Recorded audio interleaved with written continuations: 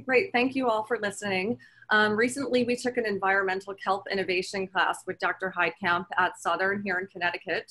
And for our term project, he had asked us to individually come up with different uses for kelp and develop a product that could help grow the blue economy um, here in Long Island Sound. So I got to thinking, and for years before I went back to school, um, I worked as a medical assistant in the field of obstetrics and gynecology, and I recall the use of laminaria, um, which is actually a type of compressed kelp that is used for the dilation of the cervix and induction of labor um, for pregnant women. So it has fantastic absorbent properties and is proven safe for vaginal use. So it brought me to the idea of designing a kelp enriched tampon.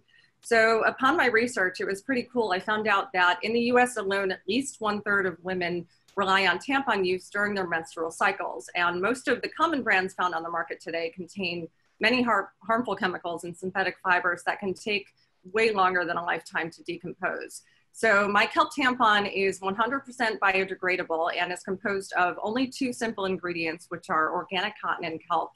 And this is environmentally friendly option um, will offer women a convenient flushable option to reduce waste without the harmful additives that are found in tampons on the market today.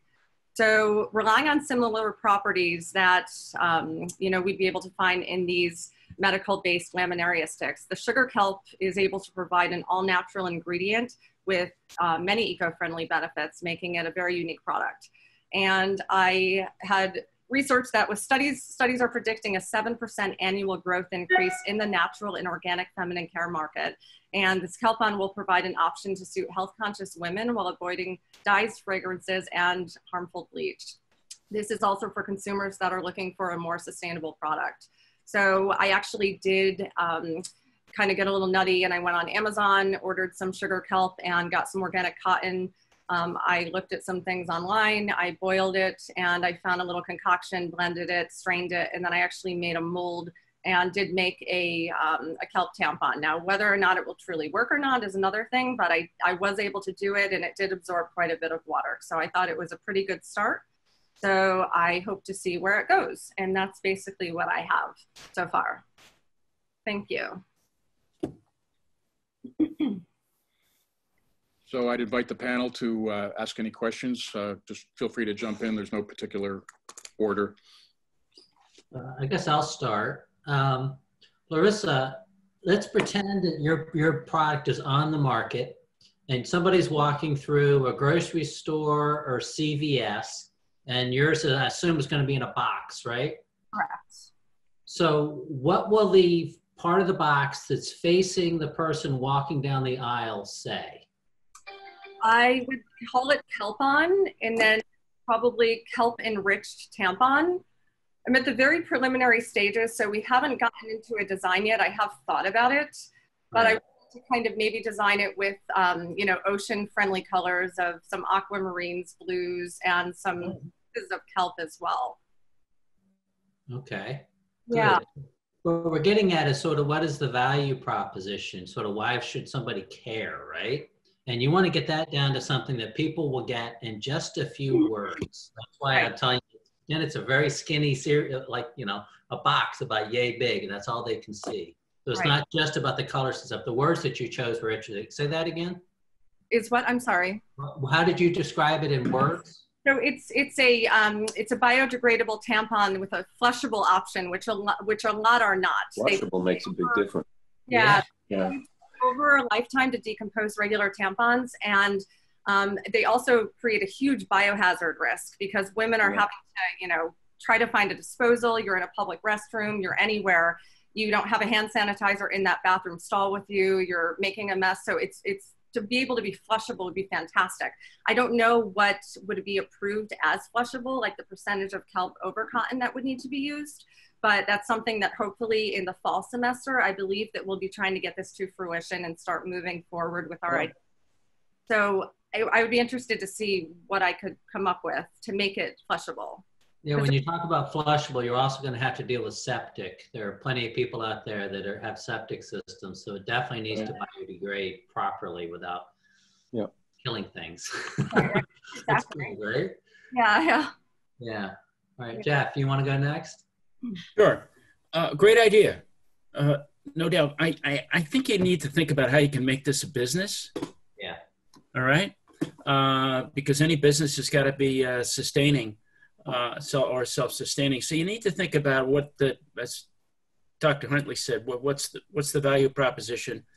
Uh, what what kind of uh, uh, of how you could scale it, so to speak. Mhm. Uh, who who you who you're going to sell it to? Not in terms of individuals, but you know you got to think about channels. Okay, Yep. who will, who will who will distribute this for you where where it won't Yeah. cost you much? And Right. beyond that, I think you need to think about sponsors Okay. okay, versus investors. Uh, sponsor could be an investor too. You never know. But uh, who would sponsor this? Who would think it's such a good idea that they're going to say, "Hey, we'll we'll give you a grant. Right. So here's ten thousand dollars, and you can go anywhere you want with it, Right, right. Uh, and it won't cost you any ownership or any no, no strings attached, so to speak. All right. right. So, uh, yeah, I, I, it's certainly an idea worthwhile pursuing. But at present, it's it, it's and you've done a little work. You made you, you made your own uh, uh, prototype, so to speak. Right. Um, uh, but uh, look, if you're going to get uh, folks interested, you got to understand.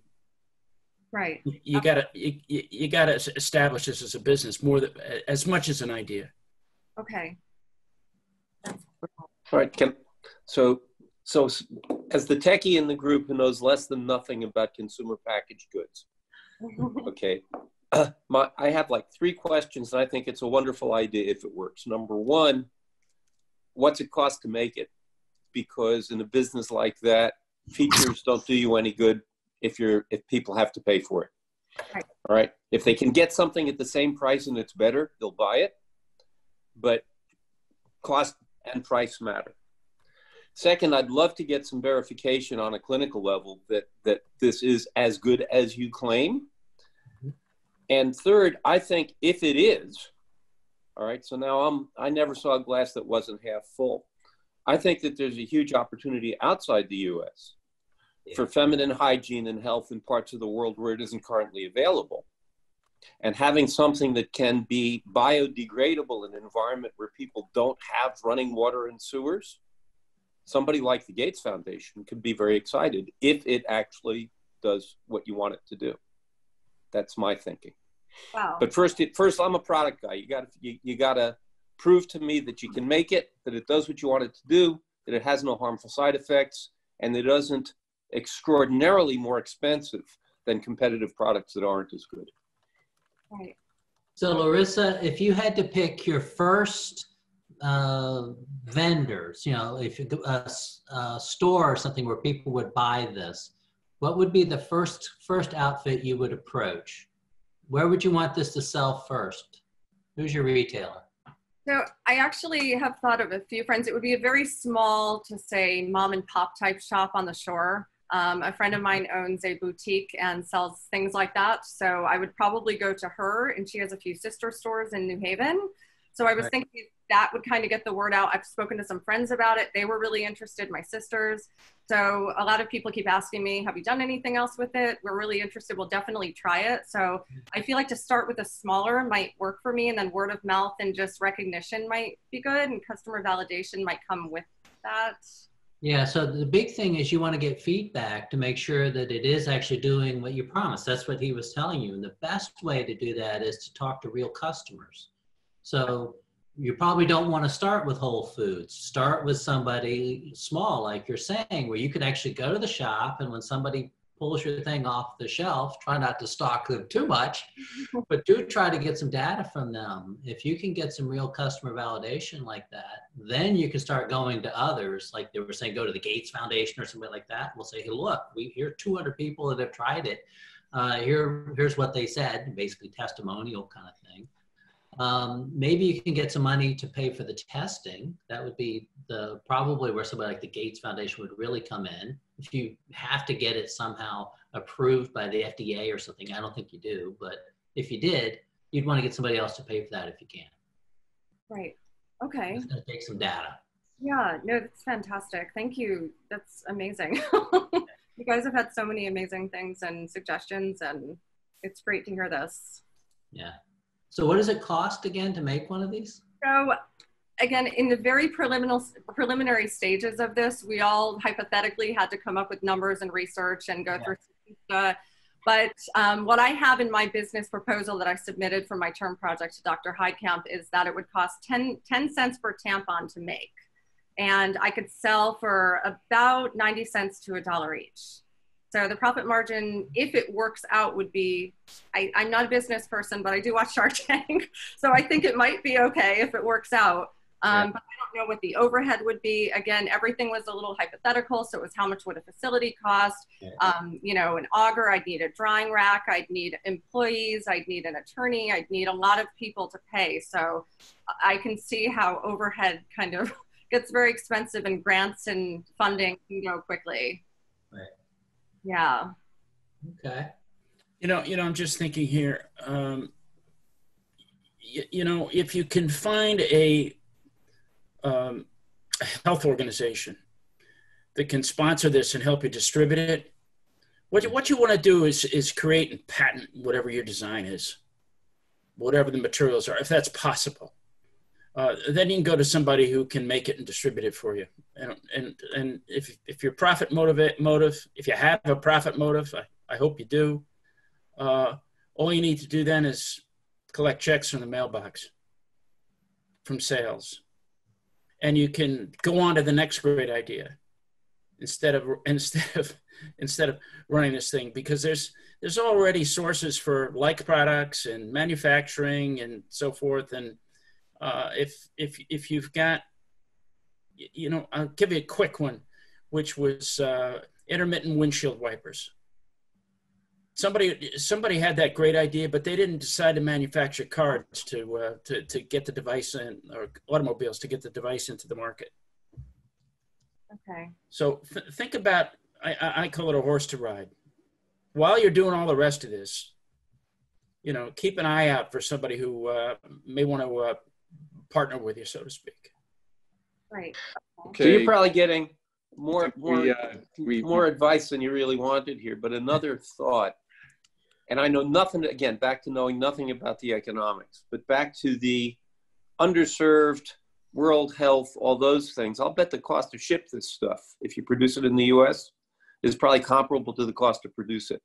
And if you've got something that can be produced locally with locally sourced materials that's safe, effective, cheap, and biodegradable in parts of the world where there's nothing else, that could really be something. Wow. Okay, so uh, Larissa, great job. Uh, panelists, thank you so much. Uh, we've got a lot of great, great ideas there. Thanks for watching. For more information, visit our website at www.futurefrogmen.org.